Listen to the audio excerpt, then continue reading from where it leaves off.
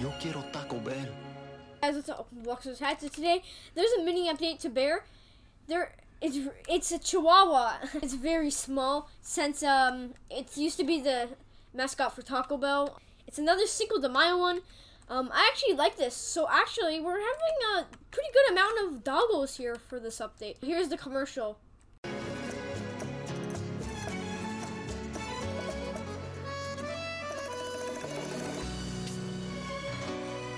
Yo quiero Taco Bell. So that's what it looks like. Now let's see the gameplay of the skin. Okay, so here's the skin. So like from the commercial, he used to say "Yo quiero Taco Bell," which is pretty funny. Um, I actually really like it. So this is the gameplay.